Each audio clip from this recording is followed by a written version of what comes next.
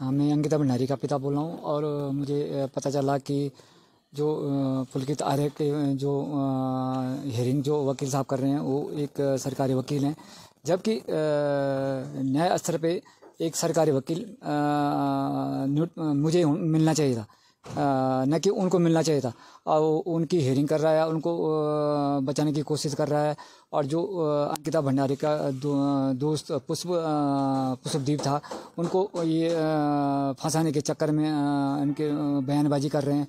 और मैं धामी जी से ये कहना चाहता हूँ कि आपने, उस जिस दिन आप मेरे घर पे आए थे, और आपने कहा था कि फास्ट ट्रैक के तहत तहत इनको आरोपियों को सजा, कड़ी से कड़ी सजा दी जाएगी। और रही बात जो नार्को टेस्ट की बात है तो कभी दो तो तैयार हो रहे हैं, कभी एक तैयार नहीं हो रहा, कभी एक तैयार हो, दो तैयार नहीं हो रही। एक, कैसे बेमंडाना है?